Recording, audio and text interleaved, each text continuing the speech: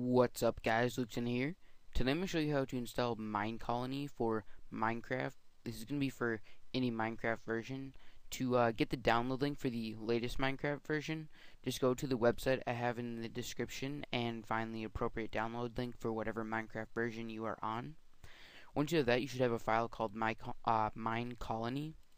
And before I start the tutorial, you're going to need uh, two things.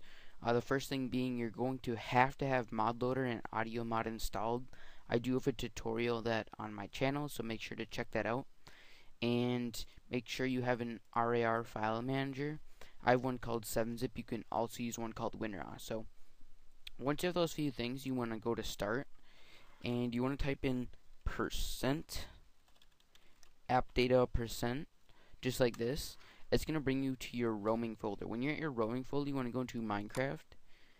And if you have not done already, but you should have already done this because you do have ModLoader and Audio Mod installed. But if you haven't for some odd reason, make sure you go into your Minecraft.jar and delete your META-INF. You should have already done that, but if you haven't, make sure you do that.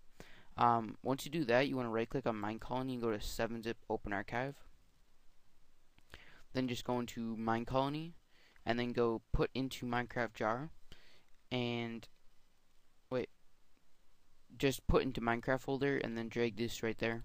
And then you can go back and then you want to go to put in mods folder and then you want to go to mods folder over here and just drag drop right there.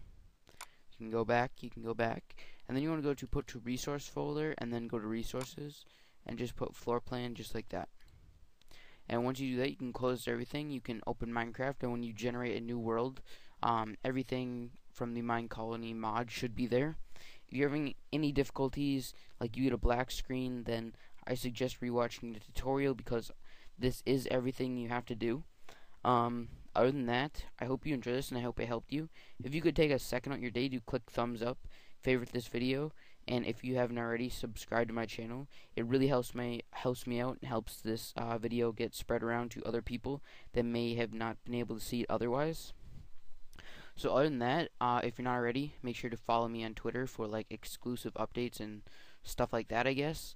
Um, but thanks for watching. I hope you enjoy this tutorial, and bye.